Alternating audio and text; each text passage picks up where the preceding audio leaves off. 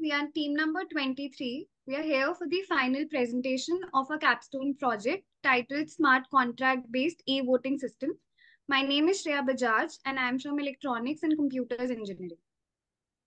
I am Pakhi Rao and I am from Electronics and Communication Engineering. I'm Yashita Malhotra and I'm from Electronics and Computers Engineering. I'm Namann Luthra and I'm from Electronics and Computer Engineering. Name is Param Arora and I'm also from Electronics and Computer Engineering. This project represents a blockchain based e voting system that utilizes blockchain technology, security, and transparency features to provide a reliable and efficient tamper proof platform for electronic voting. The proposed system aims to eliminate the issue of voter fraud, voter tampering, and hacking that have plagued traditional voting systems.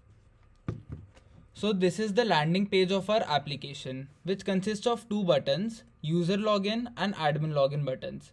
If you are a new user, you have to click on the user login button and you have to create a new account.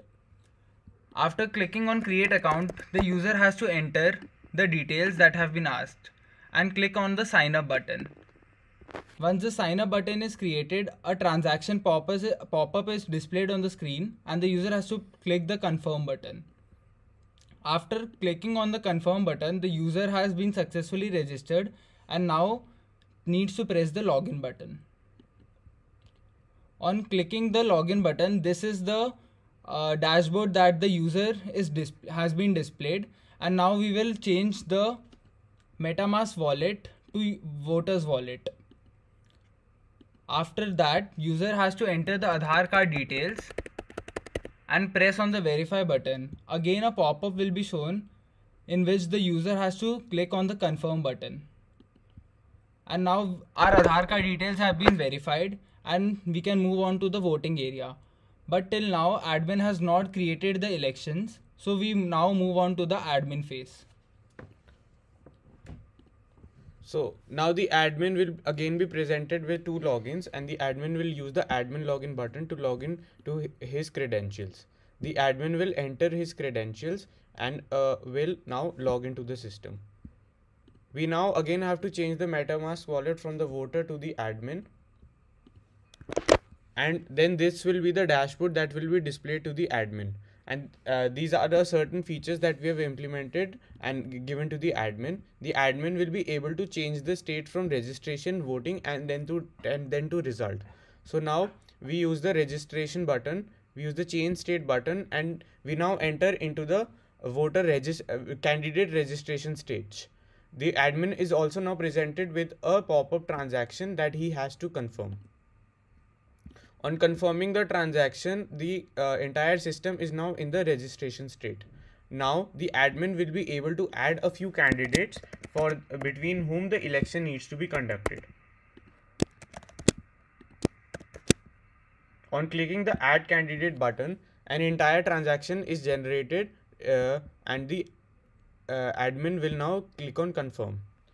The admin will add one more candidate